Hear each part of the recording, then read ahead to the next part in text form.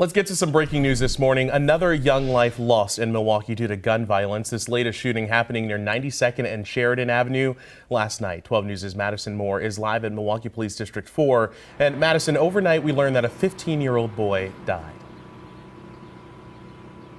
That's right, Jaron, just 15 years old, really unimaginable. And that shooting happening just around 92nd and Sheridan Avenue. It was just after 7 p.m., still broad daylight outside. Take a look at the video that we got from the scene last night. It was a very active one as police and uh, evidence investigators were taping off a large section of that street looking for any clues as to who did this. Police tell us the 15 year old boy was shot. He was brought to a local hospital last night for treatment, but just a few hours later, they say that boy did die from his injuries. And police have not yet released the identity of the 15 year old boy.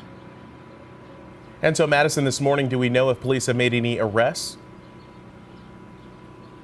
No, Jaron, police are still looking for who is responsible for this and why. They ask anyone with information to contact Milwaukee Police or Crime Stoppers.